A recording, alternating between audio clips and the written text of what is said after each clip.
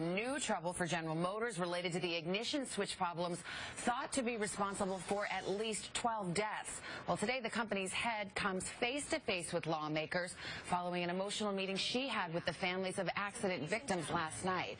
Let's get to NBC's Tom Costello. He's in Washington. Tom, good morning to you. Hi, Savannah. Good morning. The Saturn was already on the list of two and a half million recalled vehicles. Now newer models also being recalled. Meanwhile, NBC News has obtained an internal GM document showing that eight years ago, the company ordered a design change to fix the problem with the ignition switch, but it never told its existing customers about the problem and it never told the government.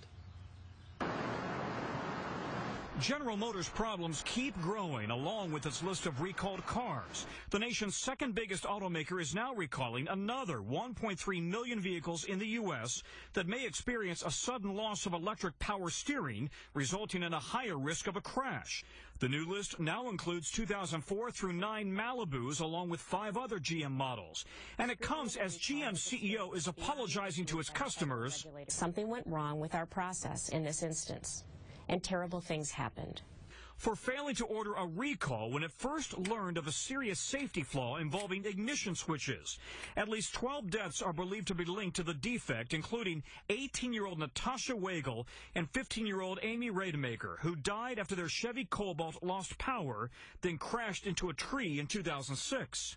These were our children, and they just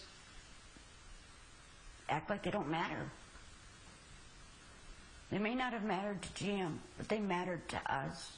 Now, the NBC News investigative unit has obtained an internal GM memo suggesting a design engineer knew about the ignition switch problem back in 2006 and signed a document authorizing a redesign.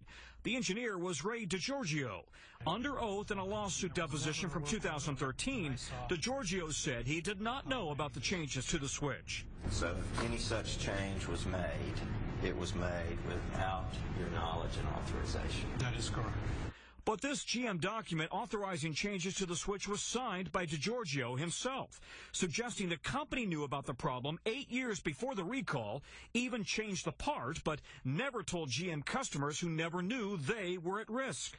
Now the witness table is set for today's hearing on Capitol Hill, and CEO Mary Barra is sure to be grilled. GM knew and accepted that they were willing to have this uh, switch that didn't meet their own specifications. Well, we need to ask why that was and uh, what was the reason that they went ahead and did it anyways. GM CEO Mary Barra has only been on the job for a few months, but in her prepared remarks to lawmakers, she will say she doesn't know why it took so long to order a recall. She's ordered an independent investigation. Meanwhile, she will apologize yet again to those family members. Savannah?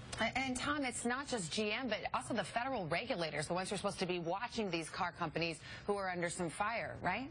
Yeah, the National Highway Traffic Safety Administration, Republicans and Democrats want to know why it didn't act when it had hundreds of complaints. It has already told NBC News it didn't have sufficient evidence to order a recall, but NHTSA will be on the hot seat as well today.